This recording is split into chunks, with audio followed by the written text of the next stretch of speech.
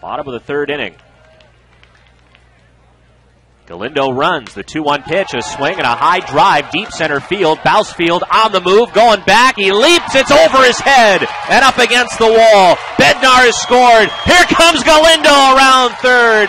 Hill scores standing. And all the way to third with a triple, Hunter Cole. And the Giants have taken the lead 3 to 2.